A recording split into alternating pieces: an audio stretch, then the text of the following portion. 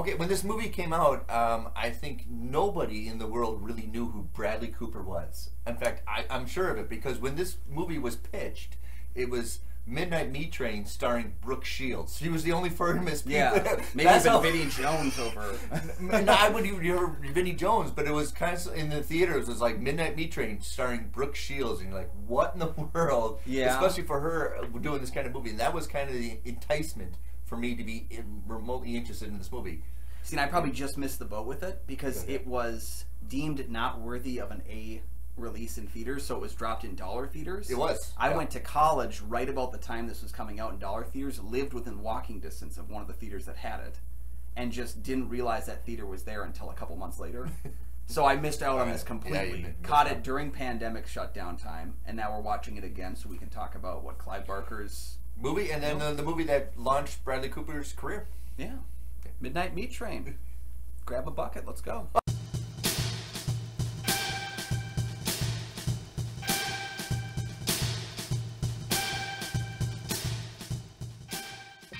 Welcome back to the show. I'm one of your hosts, Kyle Goethe from GoatFilmReviews.com. I'm Nick from the St. Paul Filmcast. Thanks for watching. Thanks for finding us. And for our loyal fans, thank you for uh, to continue to support the show. Hey, you can follow the show on Twitter and on Instagram. We do have a Patreon. Check that out as well. Today, we're going to talk about a horror movie from 2008. Uh, came released in the wake of The Dark Knight, so it kind of is almost like, did you know about it, or yeah, kind of the vapors. But uh, launched kind of Bradley Cooper film career. Yeah, so Midnight Meat Train. Photographer Leon is desperately trying to hit the big time by capturing the darkness of the city. This obsession leads him directly to the subway system, where a clean cut, bulky, and silent serial killer stalks Yeah. and kills passengers on a nightly basis. Okay, uh, to validate that, make sure that everybody know recognizes that it, that it's a horror based on a Clive Barker story, but you have to. Another justification is you have to put a Raimi in it. Yeah, that's fair. I wouldn't just, fight it. just to make sure that a you recognize this as a horror movie. Well, and in Yeah. years to follow too, Yeah. we would also have ourselves kind of like you, you could recognize a lot more of the people involved in this film purely by their relationship to Marvel. You know, Leslie Bibb, the girlfriend from the film, she appears in Iron Man. Iron Man, a couple months before this movie, Um, she's Yeah. married to Justin Hammer himself, Sam Rockwell. We have Bradley Cooper, who voices Rocket Raccoon, and Vinnie Jones, who's the Juggernaut. You Bee. play the Juggernaut for the X Men things, yeah, are not really Marvel Studios. Yeah. but we can nitpick about that. Uh, yeah, this movie was came out in August. It kind of like was just getting its traction. It was making money. I think the budget was under like a million. It had to be low budget. It- but it was thing. constantly in the like the top tens of like, and then people are like, "What is the title of this movie?" And of course, that's what kind of gets you at first is what the heck is going on? It's the reason I avoided the movie, though, is to be Really? honest, because just uh, it's it's one of those on the nose titles. Yeah. And the problem that the movie has, I think it would have sold a little bit better. Clive Barker is almost more so than even Stephen King. If you can pop his name on there, Clive Yeah. Barker is the Midnight Meat Train. He was a producer. He was very adamant about the film adaptation, so he had involvement. Yeah. But it's like if you put his name on, I'm going to go see the movie. If you didn't, the, the Yes. title doesn't really work for me all that well. And then watching the movie, I expect hard core, gross, carnage, candy, and I don't get that here. I actually don't think the movie is all that that No, graphic. you think so? Especially when, like in the early 2000s, Japan was really kicking out phenomenal Mhm. horror movies, and I think they wanted to catch that little bit end of the wave of when the why they recruited. Uh, uh, Ryuhei Kitamura, who actually directed Azumi, And worked with uh, Nightmare Cinema recently in America as well, an anthology film, and also did a Godzilla film from the early 2000s. So like Yeah. A notable and he director did uh, that area. which is a great movie. Hopefully, we can critique in the future uh, Alive, which is a great Mm. movie. So it does have very much that very early 2000s Japanese feel to it. It's got elements of it, yeah. Yeah. Well, and we have to note too that Kitamura came in very late before production was about to begin. Uh, Patrick Tatopoulos, who's a very big like effects uh, worker, I think did the third Underworld film, was originally attached to this film, stepped away from it after a bit, and then right before production they had to scramble and get someone. So there was kind of that like, who are we gonna get, you know?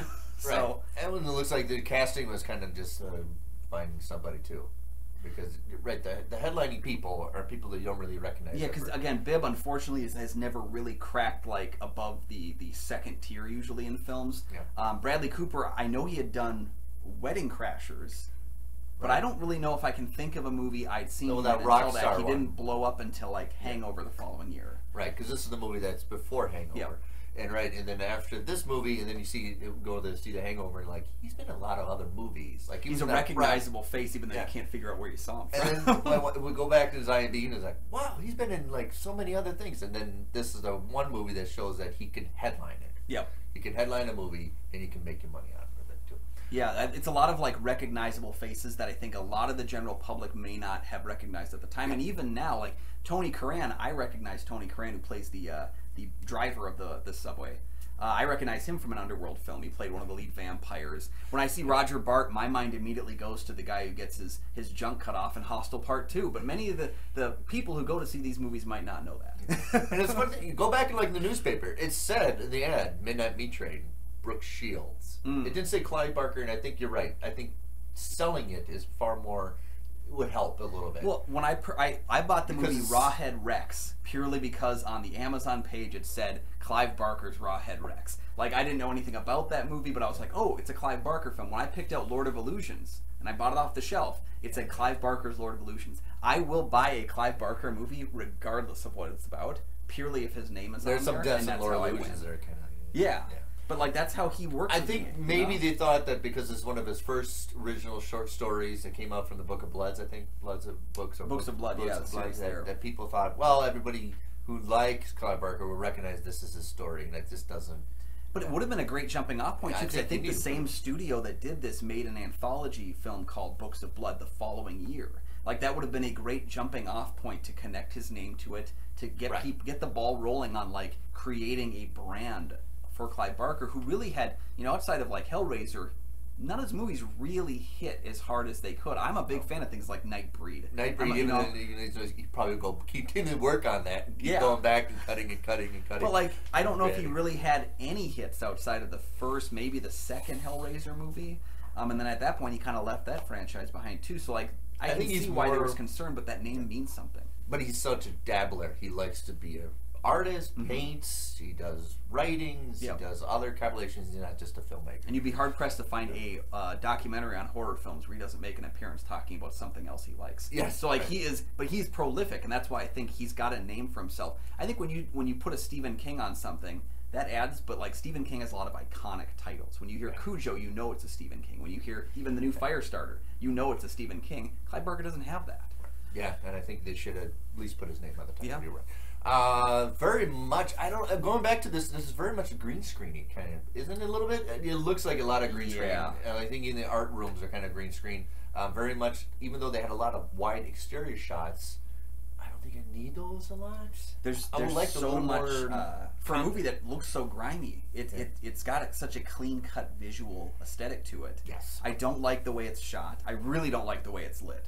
Um, I get that Blue. there's like a. I get it. You like blue and like brown. Yeah, this could be in the uh, the Grudge cinematic universe where everything's. got Well, we talked about how emo is emo is too polished for Yeah. what it is, and I, I agree. This is I would like a rough, yeah, a little more rough. I just I, I feel like it's got the clean cut because I mean uh, you know in Japanese horror they they kind of have that perfect balance of like there's a griminess in the horror on screen but the way it's shot is elegant and in this it kind of feels like they're doing that here but with maybe too much flash and that the green Yeah. screen comes to add to that too it makes such a clean looking shot of such a grimy movie it just doesn't really translate to me And I think so they're I trying to do on. a little bit like Mimic or a little bit Yeah. like Dark City, trying to make the city as a character, and I'm not interested. I, would was like seeing s- mimic in it yeah Yeah, and I see a little bit like Mimic, but I'm not interested in this, this city. They try to advertise the city as a character that makes it, and I really want the characters. Yeah. Well, what I was thinking too is Jonathan Sela did the cinematography, who had, Yeah. had also done Max Payne, another movie that I think had a very clean cut, grimy look to it that didn't work. Thankfully, Sela has done a couple other he movies found I've it. been a fan well, of. he found like John Wick was really good. John, it works for John yeah, Wick. Yep. he's got his like his movement on there now in a, in a place where I feel like he's working with the right people. But between this and you know like Max Payne, they're just two like stumbly kind of movies where I just don't like the look of them at all. Yeah, yeah. It's just it it looks very green screeny. Mhm. Nowadays, you can kind of tell Oh yeah, a little bit, and then the computer graphics of the blood and stuff like that. It's very age makes fools of us all, but especially CG. Uh, but it's very like the Japanese thing of the head decapitated, Mm. but it winks at you, and then you pull the camera away. Yeah. That's very Japanese. And Yeah. I do like I do like There's that. a lot of, of instances of camera shots in the way the camera moves that feels like they're probably Kitamura, idea. Um, and yeah, just way the aesthetic plays out. It's it's the, the the problem is I like enough elements of it, but I think the movie drags Very so quiet. much. It's so quiet. Quiet. and I also having known the story, I know that in the story we get to see some monsteriness. We get to see some like big bad creature effects. Again, that makes that's a very Clive Barker-esque thing. Is let's show some really messed up creatures, and the movie thinks that Vinnie Jones can be our big bad to the point where like we can find him scary, but like he's not really scary. He's humanized. Yeah, he's so Very. yeah he's so human, and the fact that we've seen Vinnie Jones in a number of other films, he acts pretty well for a non-speaking role. But I know Vinnie Jones. I'm not scared of Vinnie Jones. Right. And I I, need I some think more. well, we critiqued another movie where we talked about it was too much of a force, Mm. and I like the humanization of. Yeah. like, and then I would like this lead a little bit of a force Yeah. and less humanization of Vinnie Jones's character. Well, because the, the best part of the movie is the, the last five super- minutes, where we start to get that superhuman flavor to it, where we start to Yeah. start to understand what's really happening here. That's where I'm like, this is the movie I wanted, but we're just, and I know where it's ending. I know it's coming to a close, and I'm going to miss out on it now. And that's the problem. Is I Pacing think we, well. as Yeah. viewers, know where the movie's going about an hour ahead of time. About a half hour in, we're like, oh, this is how it's going to kind of close out. And for the most part, we're right until about the last five minutes. You know? No, there's, there's yes, and there's just some things that just some shots that just didn't need to be there. They're just wasting. You have some Mhm. exterior cityscape shots. You have some overhead in the alley. A lot of waste of time. That I would really focus on the characters. You want to do green screening? Put it in a room. A little more claustrophobic. A little more. Strew a lot more in the train. Yep. Um, yeah, I'll stand there by a broomstick. Yeah. you can tell a lot of people are doing that. But that's what I want. I want a closed, compact script. I think you're trying to expand the environment unnecessarily. Yeah. And you're trying to humanize Vinnie Jones unnecessarily. I'd rather be a little more foreboding. Wear some sunglasses or something where you see almost like a robotic monster. What I would like to see is how he reacts to his job.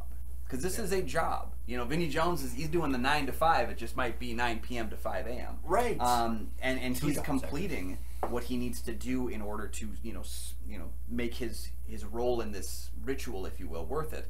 We never see like we see him doing the killing, and then we cut to black, and we wake up with Bradley Cooper the next morning, and it's like I want to see edit cut. I want to see Yeah. the Vinnie Jones like how does he spend his time? You know, let's break down what this guy is because I mean, if you're going to humanize him, show me him in his day, not just him on the train.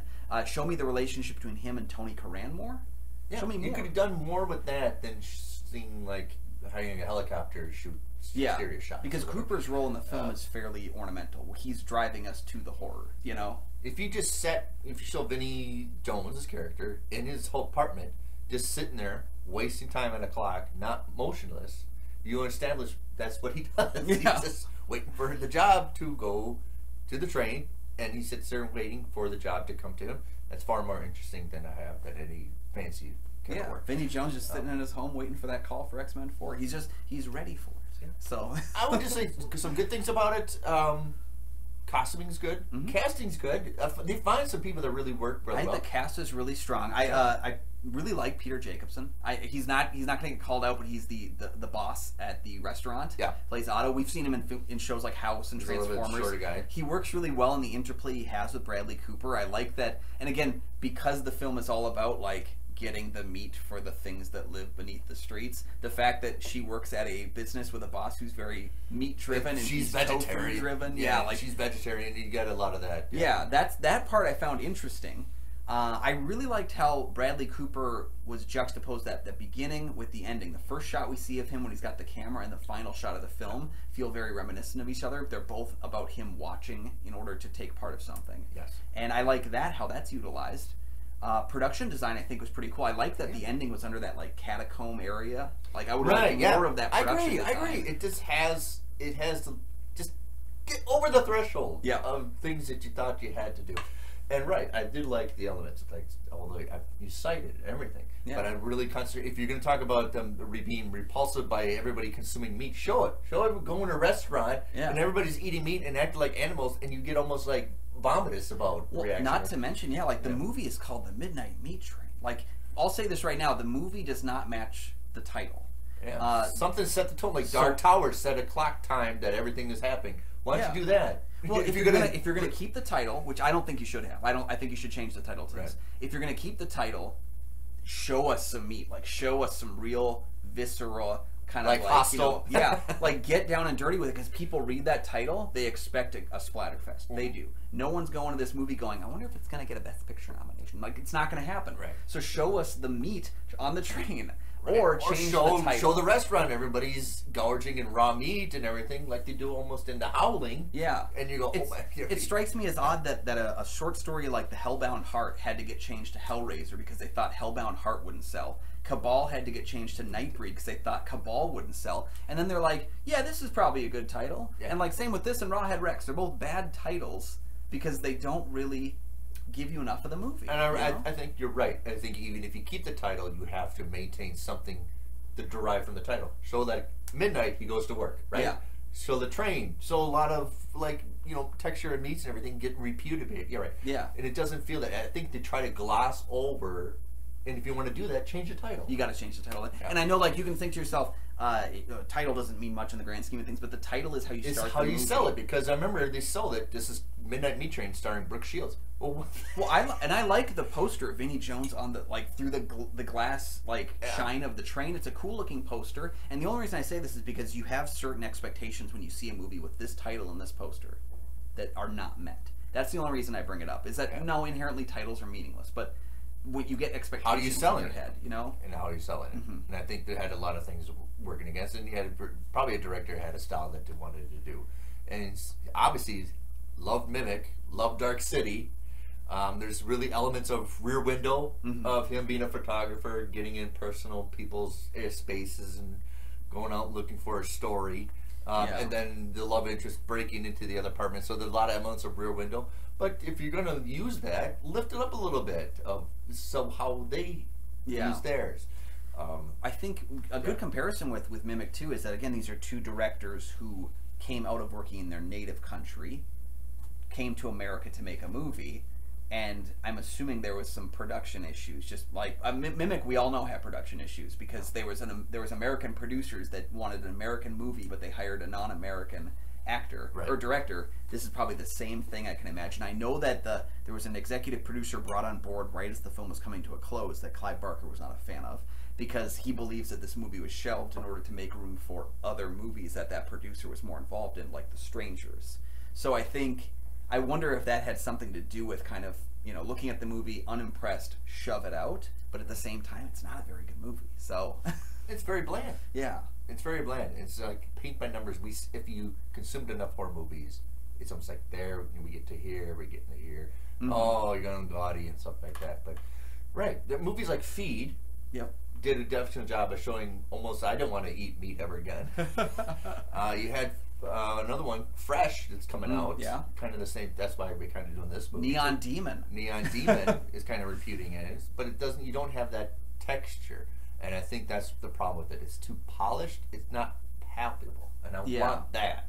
I want to feel it almost that you don't want to be in this environment. it's almost like the crew came on set with a vision for a movie and then they received the screenplay and were like oh well we're here i, I don't inherently dislike jeff buhler i think jeff buhler as a screenwriter has done some solid work but i think he's also tried he's tried things in his movies and i respect that he tries things not all those things work and i mean like things like changing up the order in Pet Sematary. He did the, the remake to Pet Sematary. His screenplay changes up a lot of the narrative ideas, tries some new things. I don't think they work all that well.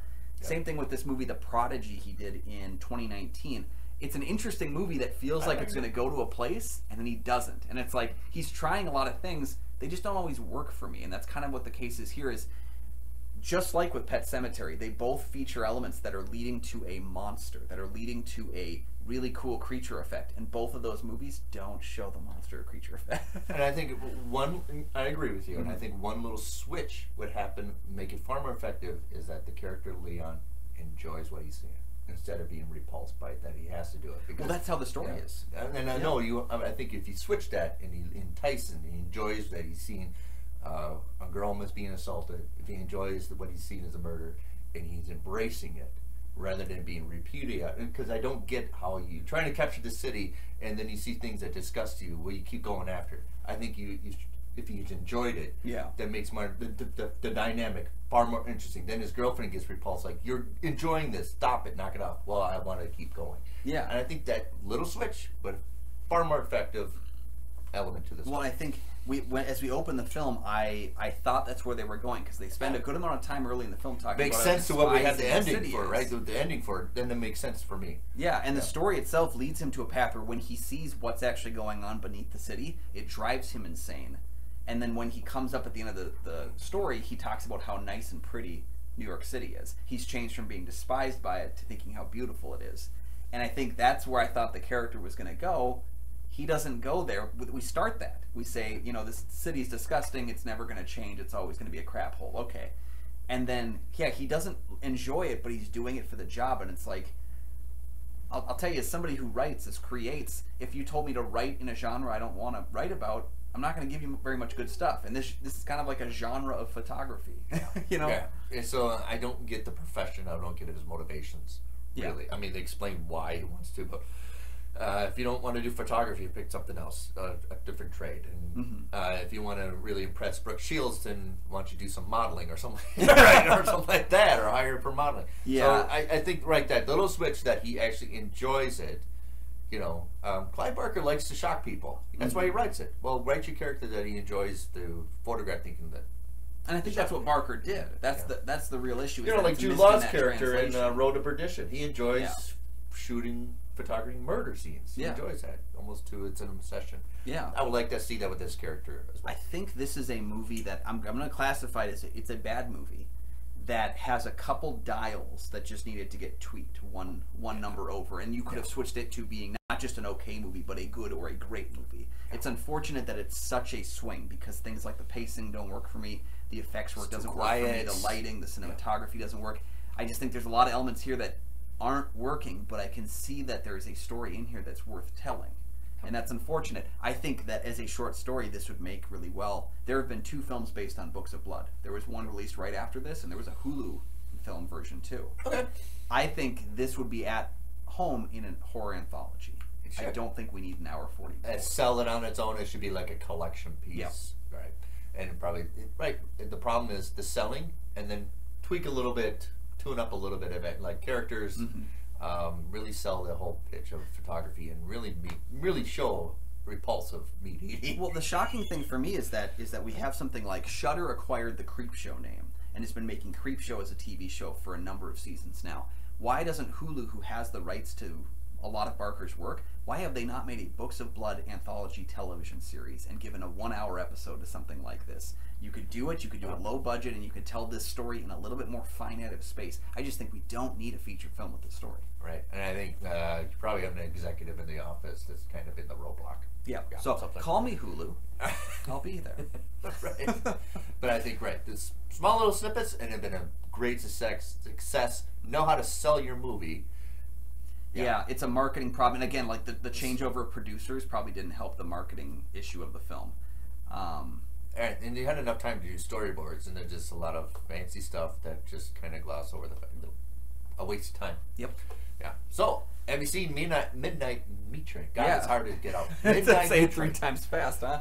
Um, yeah. Yeah. Let us know your thoughts on it down below. Do you have another Clive Barker adaptation that's your pre- preference, your favorite? It's probably. I mean, I do like Hellraiser, but else. Lore Illusions is just so the trajectory is like way out there. Mm. I kind of like that. So yeah, like, are you are you more of a Nick? Are you a are you a Lord of Illusions? Are you a Hellraiser uh, Nightbreed guy? Huh? Why don't you come over here? Um, let us know in the comments down below. Or do you have a favorite Book of Blood story that has not been adapted yet? Yeah, he's written a lot You of know. stuff that's not horror. Yeah, the, well, he's written a lot of stuff that hasn't been made into movies that could be. Yeah, right, yeah. So let us know down in the comments your thought on this film and about Clive Barker as well. And while you're down there, liking and subscribing are two things you can do that take less than five seconds and they help our channel out It and does. also make sure you never miss an Oh, yeah, it episode. does. Uh, Nick, you mentioned that Patreon already, but let's say it again. Cancel one cup of coffee every month from your Caribou. Come join the Patreon for as low as a dollar a month, and you can help us pick the different films that we are doing on the show in future episodes. Yeah. That's all we got there, guys. So once again, you can find all my film reviews over at goatfilmreviews.com. Uh, you can find my podcast, the St. Paul Filmcast, anywhere you find podcasts where I interview local filmmakers from the Twin Cities area. Perfect. So let's go grab a salad and we'll see you next time. Salad.